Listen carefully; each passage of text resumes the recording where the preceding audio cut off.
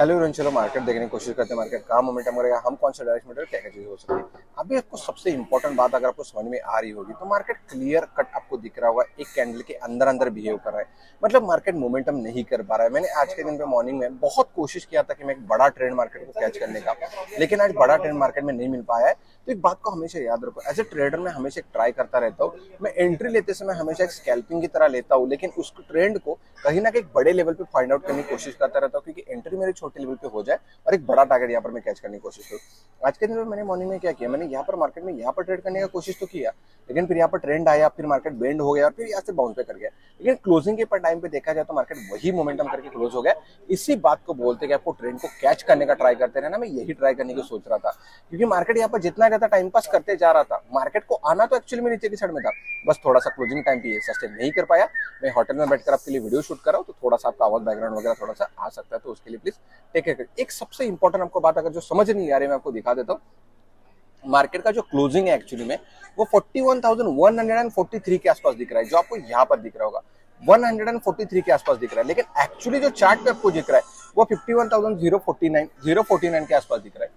049 सो so ये जो level है वो 143 का जो आसपास लेवल है वो एक्चुअली में जो देखा जाए तो वो ये वाला है। 143 सो लाइक दिस ये वाला लेवल सो मार्केट की ऑलरेडी ये लेवल के आसपास क्लोज कर चुका है जो लास्ट के कैंडल आपको दिख रही है ये वाली दिख रही है.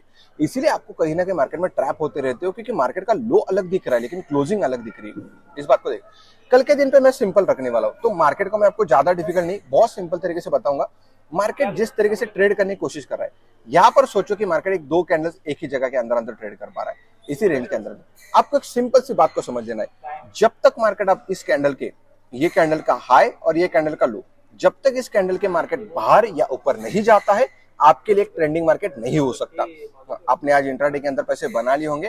कोई भी एक प्रोफेशनल ट्रेडर या फिर कोई एक ट्रेडर प्रॉपर मार्केट का मोमेंटम समझने की ट्राई करता है। मतलब मार्केट का एक बड़ा लंबा ट्रेंड कैच करने की कोशिश करता है, ना कि वो छोटे इंट्राडे के अंदर मोमेंटम करने की कैच करता है। क्योंकि दो टाइप के ट्रेडर्स है, एक मोमेंटम और एक दूसरा। वो दो चीज़ों को ट्राई करना है। सो मैं जिस तरीके से अभी फ़िलहाल के लिए देख पा रहा हूँ मार्केट इसी तरीके से अंदर अंदर अंदर अंदर ट्रेड करते जा रहा है। मुझे जब तक मार्केट इस रेंज से बाहर नहीं आएगा, मेरे लिए एक प्रॉपर ट्रेड नहीं बन सकता। इस बात का आपको ख्याल रखना पड़ेगा थोड़ा सा देखना पड़ेगा, समझना पड़ेगा। तो इन चीज़ों को देखते हैं लेट से क्या हो सकता है। अगर कल का मार्केट ये जगह पर आसपास मतलब क्लोजिंग का अगर दिख रही है, अगर ये जगह के आसपास ओपन हो जाता है, आपको थोड़ा सा संभल कर ट्रेड करना पड़ेगा। क्योंकि फिर मार्केट इसी रेंज के अंदर अंदर टाइम पास करता हुआ दिख जाएगा, क्योंकि अभी तक मार्केट इस रेंज के अंदर जो पड़ा रहा है, काफ़ी लॉन्ग टर्म से इसी रेंज के अंदर हम लास्ट दिन के दिन में क्लोजिंग कर रहे हैं। तो एक्चुअली हम ट्रेड कैसे कर पाएँगे प्लान कैसे करेंगे? अगर मार्केट इस रेंज के अंदर कहीं पर भी फ्लैट ओपन हो जाता है, फिर फ्लैट ओपन होने पर अगर नीचे चला आता है, सीधे तरीके से जल्दबाजी मत करना। मार्केट जब तक 51,000 के प्रॉपर नीचे सस्टेन नहीं करता है आपको कोई भी ट्रेड करना नहीं चाहिए। आपको थोड़ा सा खुद को बचा के रखना चाहिए क्योंकि इसके पहले पहले मार्केट में वॉलिटिलिटी बनेगी और आप इंट्राडे के अंदर ट्रेड करो तो बिंदास करो। लेकिन आपको थोड़ा सा एसएल और थोड़ी चीज़ें को संभल कर ट्रेड करना पड़ेगा नहीं तो मार्केट अप एंड डाउन करता रहेगा और आपके लॉस देने की कोशिश करेगा। इस चीज़ के लिए आप थोड़ा सा पहले से प्लान में रह सकते हो। तो इतना तो आप समझ गए होंगे कि क्या किया जा सकता है। लेकिन मार्केट अगर सडनली गैप अप या गैप डाउन हो जाता है, तब जाकर ये चीज़ें प्लान हो जाएगी, जैसे मैंने बताया आपको। ये जो एक बड़ी सी कैंडल मैंने बता के रखी है, ये कैंडल के बाहर जब तक मार्केट नहीं पाता, आप इंटरडे के अंदर छोटे मोटे मोमेंटम कैच कर पाओगे, लेकिन वॉलेटिलिटी मार्केट में ज़्यादा रह जाएगी और उस चीज़ का आपको ज़्यादा ख्याल रखना पड़ेगा।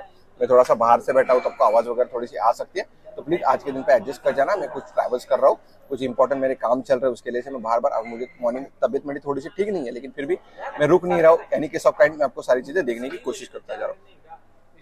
चलो एक बार निफ्टी के अंदर क्या चीज़ें होती है? निफ्टी अगर आप देखा जाए तो लाइफ टाइम है के ऊपर जाने के बाद, आपको यहाँ पर दिख रहा होगा निफ्टी थोड़ा सा कंफ्यूजिंग सिनारे में दिख रहा होगा।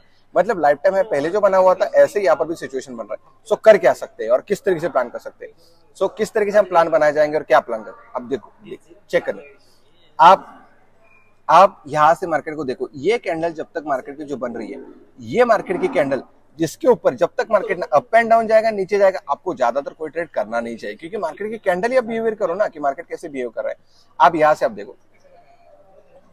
यहाँ से मार्केट मार्केट यहाँ पर ट्रेड कर रहा है। इस रेंज में अंदर ट्रेड कर रहा है। आपको समझिए मैंने आपको बड़ी सी कैंडल बना के रखी है बना के दी है। आप क्या प्लान कर सकते हो? जस्ट आप सोच के देखिए कि मार्केट अगर इतना ही मार्केट में अगर पॉजिटिव मोमेंटम करना ही होता मार्केट को या फिर अगर मार्केट को निगेटिव करना होता तो मार्केट इतना मोमेंटम अपसाइड करता ही क्यों? और फिर निगेटिव करता ही क्यों? मार्केट अगर इसी रेंज में अंदर रह जाता ना, लेकिन कर क्यों रहा है? मतलब मार्केट जितना भी ऊपर जा रहा है, धीरे धीरे धीरे धीरे कर एक सेलर मार्केट जब भी अपसाइड मोमेंटम करता है सेलर्स ऐड हो जाते फिर मार्केट को नीचे खींचते जब भी मार्केट ऊपर जाता है सेलर्स ऐड होते खींचते मैं निफ्टी में आपको कल के दिन पे ट्रेड करने के लिए थोड़ा सा मना कर जाऊँगा। आप ट्रेड के, कल के दिन पे निफ्टी को ट्रेड मत कर लीजिए, क्योंकि निफ्टी ट्वेंटी के नीचे प्रॉपर तरीके से सस्टेन ना करे, तब तक आपको ट्रेड नहीं करना चाहिए। निफ्टी आपको थोड़ा सा परेशानी दिखा सकता है। या फिर मार्केट ट्वेंटी फाइव थाउज़ेंड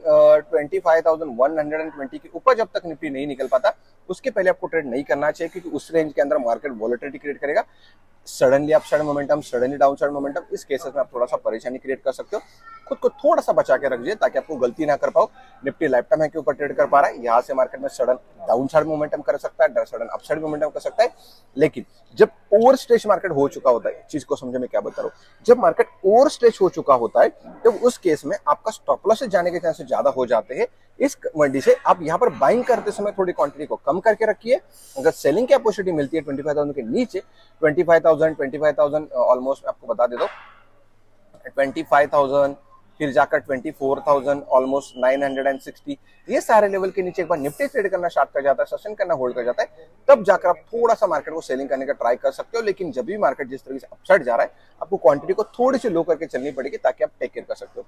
मिलता आपको नेक्स्ट में। इससे ज़्यादा मैं आपको ज़्यादा लंबा नहीं खींचूँगा। मिलता आपको नेक्स्ट में। तो thank you so much guys take care